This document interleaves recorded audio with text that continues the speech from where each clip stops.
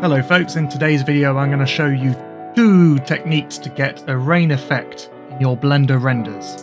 What I've got here is a very simple cityscape scene that I set up and I wanted to introduce some rain to this scene. Okay, so let's go with easy method of adding rain to your scene. As you can see I have a, a different demo scene for this just to make the workload a little bit easier on my computer while I'm recording. First of all, uh, the way the easy effect works is by Shift A adding a plane into the world. And what we want to do, if I just go to top view, is bring that all the way over to our camera. Just make sure it's on roughly the same height as the camera at the moment and let's scale it up uh, quite a bit.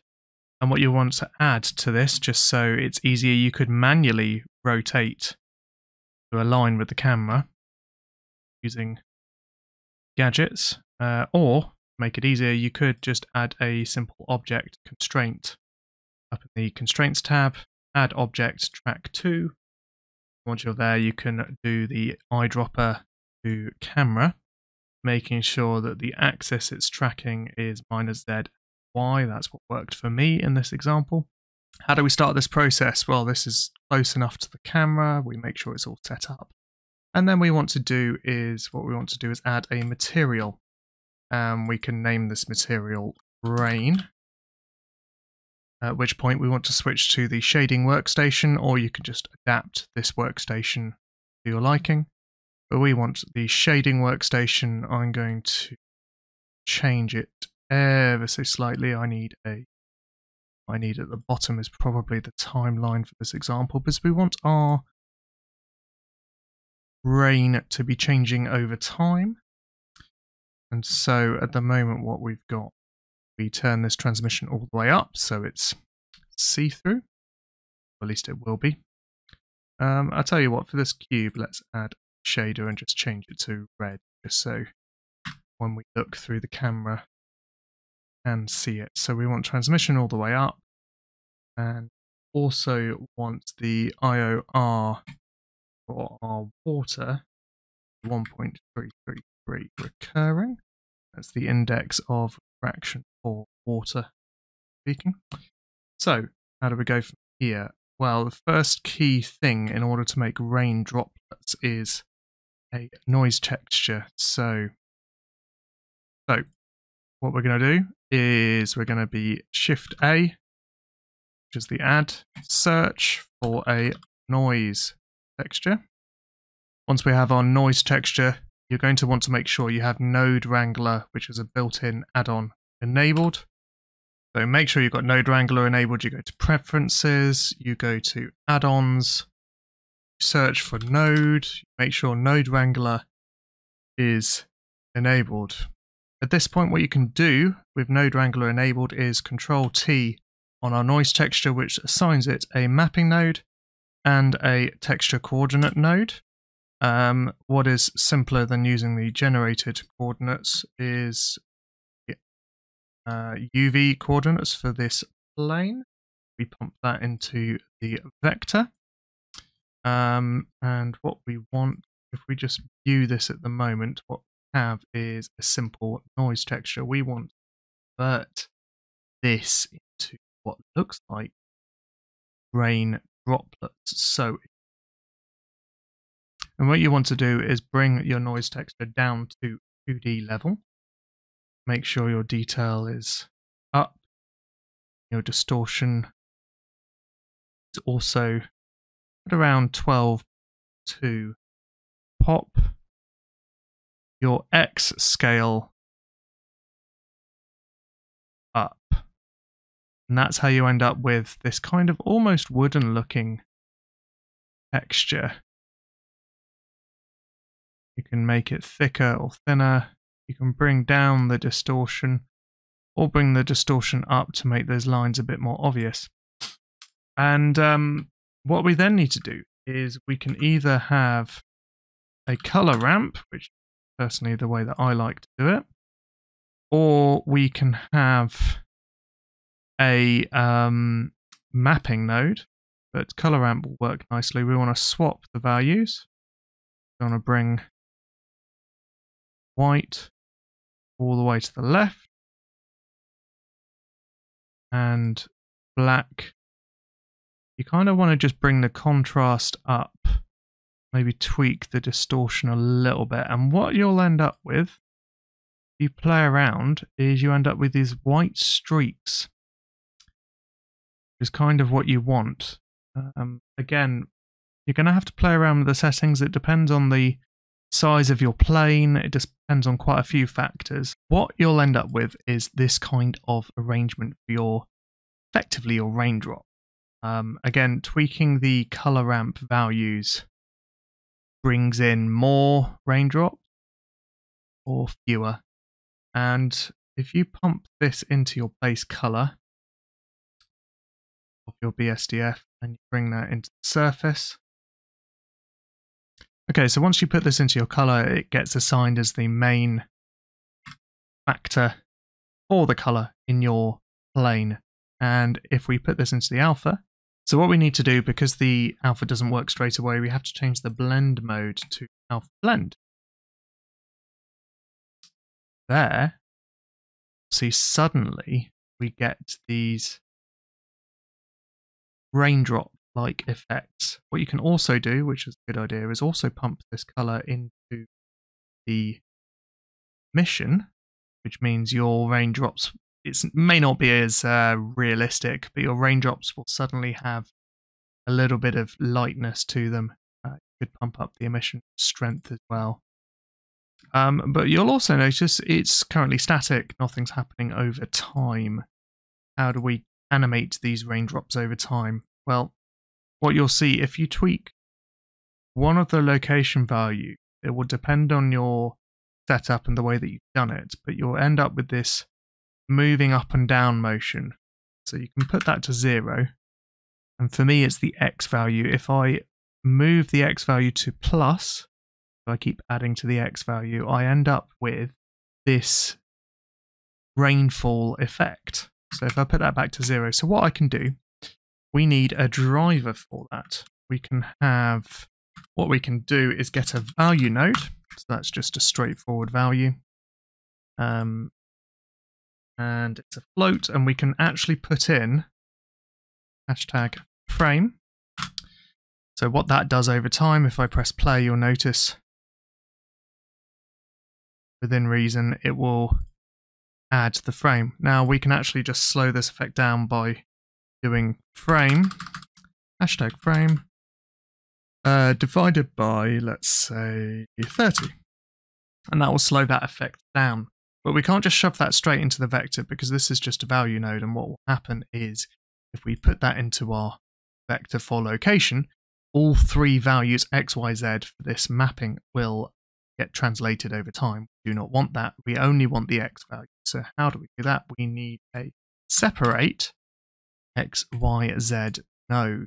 Once we put this in here, that obviously applies the value, but then we can just take the x, plug that into our location.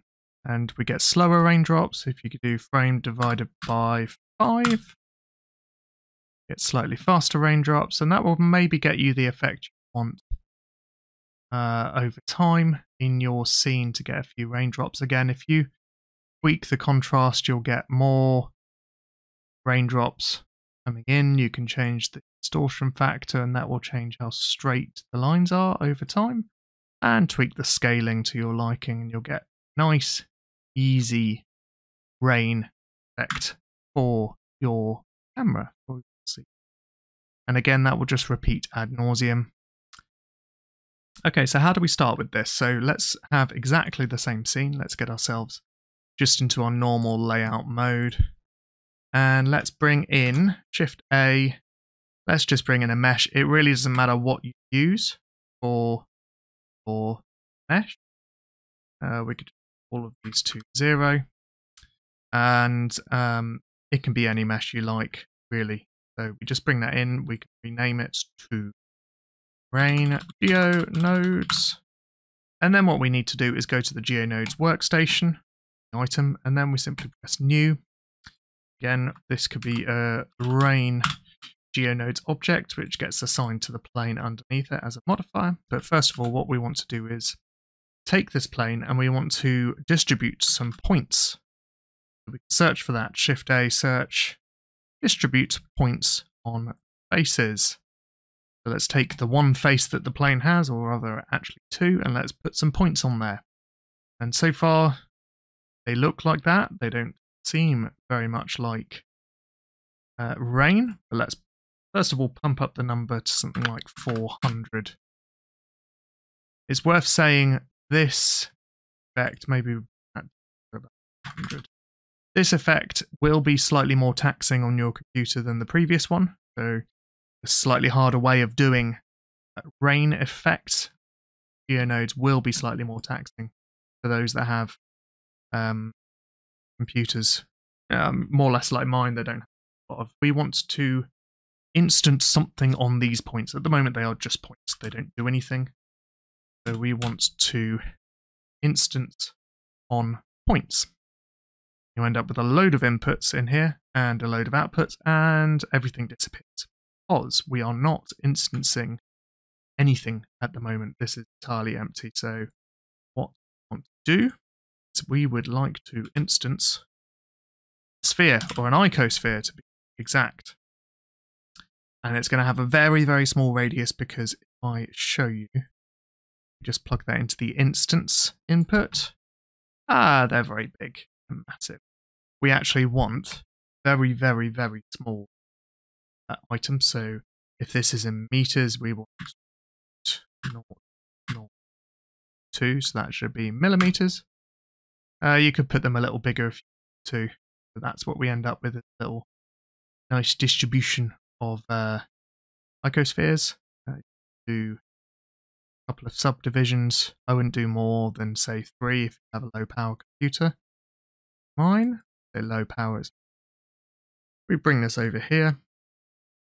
What we're going to do here is shaded smooth because that makes them look nice and now they're shaded smooth, but they're low poly because we don't need them to be high poly at this point. They're not raindrops, they are just circular drops. Water. How are we going to make them raindrops? Well, we are going to stretch them. Now, the best way to do this that I found in GeoNodes is to stretch them on a scale. So, which scale do we want to be using? We don't want to do them that way. Um, just bring that back to one.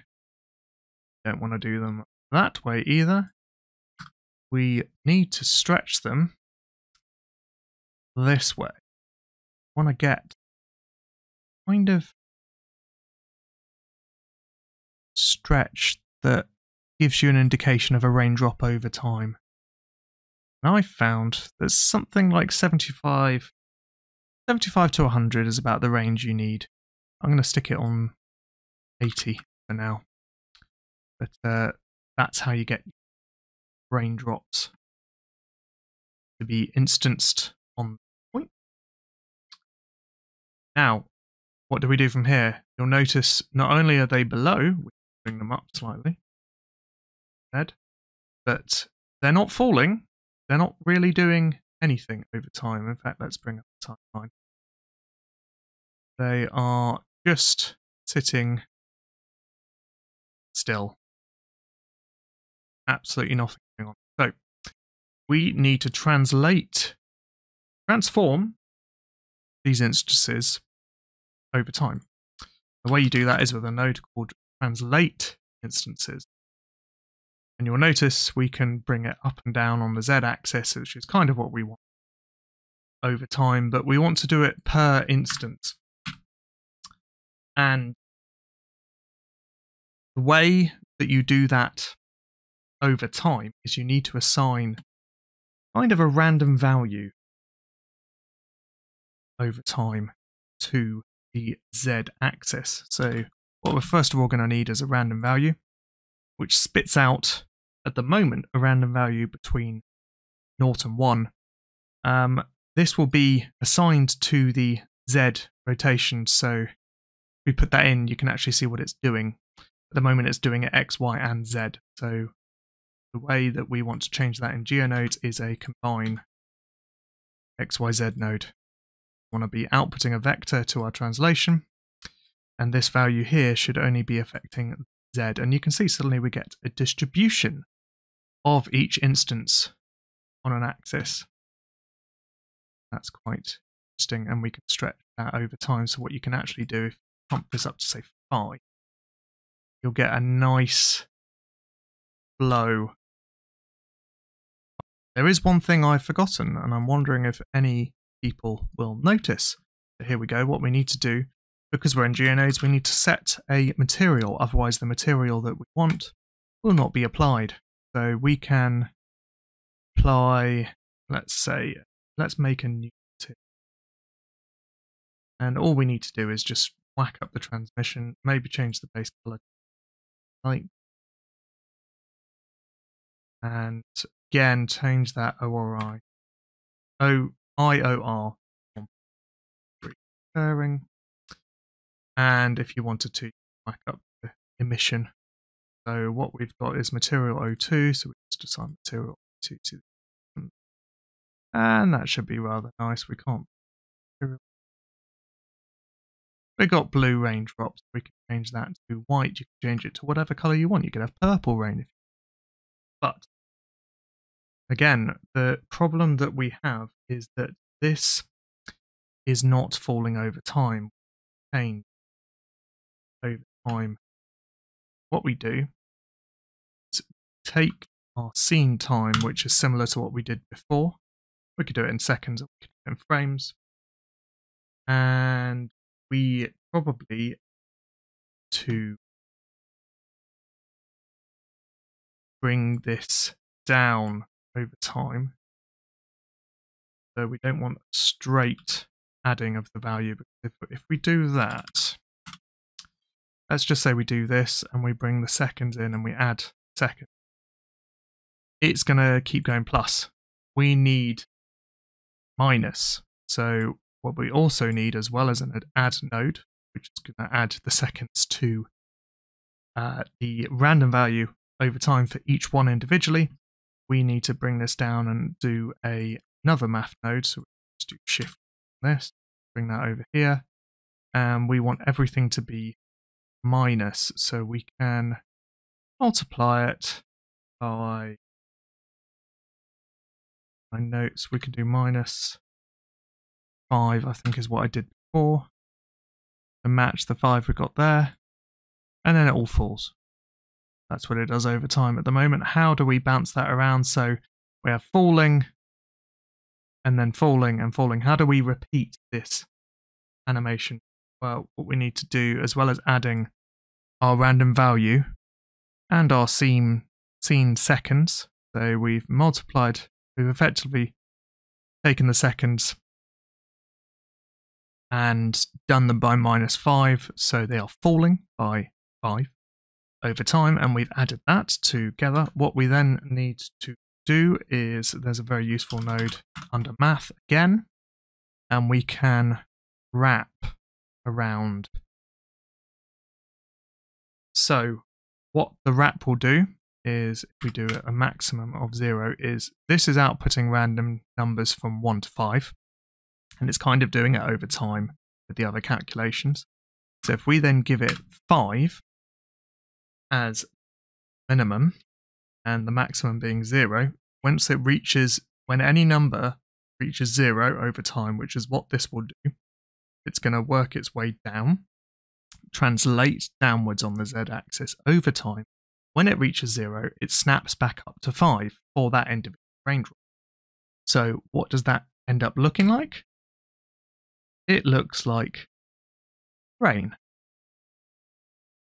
And that's just a very useful way of producing a rain effect. What you may want to do, it's looking at the object, but essentially you get quite a nice, smooth rain effect going on actually physically in your scene. And it uh, produces rather a nice effect. And it's a bit a bit more difficult to use than the shader version, but you end up with a lovely way of producing rain for your scene. If you have liked this tutorial, please do give a subscribe to the channel. It helps out a lot. And if you have any questions, or if you'd like to contact me, please put a comment in the description, or you can find me on my Twitter. I'll be doing a few more tutorials in the future for things like this. I wish you good luck in your Blender endeavours, and I'll see you next time.